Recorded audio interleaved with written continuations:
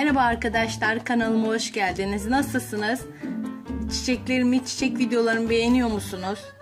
Yorum atarsanız bu konuda beni bilgilendirirseniz sevinirim.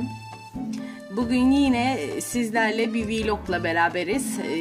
Bu sefer Eminönü'ndeyiz. Eminönü'ndeki çiçekleri geziyoruz. Oradaki çiçekçileri. Eminönü bildiğiniz gibi tarihi güzel bir yer.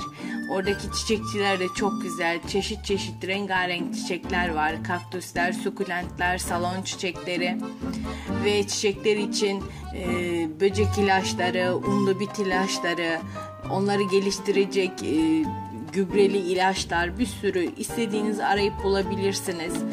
İsterseniz kargo da yapıyorlar. Oradan sipariş de verebiliyorsunuz.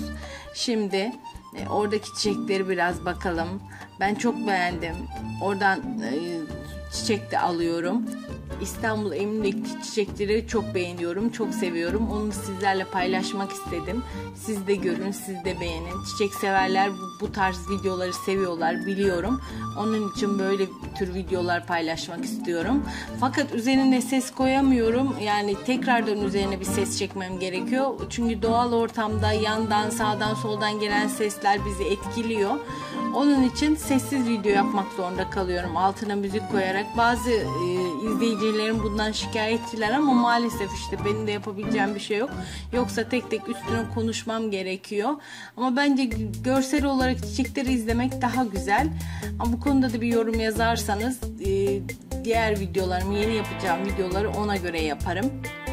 Hepinize iyi izlemeler. Kanalıma geldiğiniz için teşekkürler.